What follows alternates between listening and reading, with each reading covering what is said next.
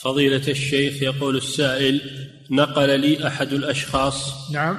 يقول نقل لي أحد الأشخاص نعم. أن رأيكم في من دخل والإمام يقرأ في الصلاة أنه لا يقرأ الفاتحة ونقل لي شخص آخر أنه سألكم عن نفس السؤال فقال إنكم أجبتم أنه إذا دخل والإمام راكع يكبر للإحرام ويركع وتجزئه.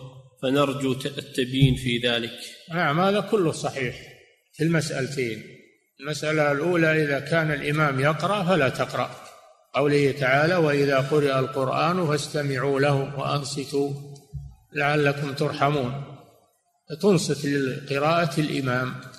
وإذا لم تتمكن من قراءتها في سكتات الإمام فإن تكفي قراءة الإمام. الحالة الثانية إذا جئت والإمام راكع تكبر تكبيرة الإحرام وأنت واقف ثم تنحني راكعا وتكبر للركوع وتسقط عنك قراءة الفاتحة في هذه الحالة لأنها فات محلها. وأبو بكر لما جاء والنبي صلى الله عليه وسلم راكع دخل معه في الركوع ولم يأمره النبي صلى الله عليه وسلم بإعادة الركعة. نعم. انتهت الله والله تعالى أعلم وصلى الله وسلم على نبينا محمد وعلى آله وصحبه.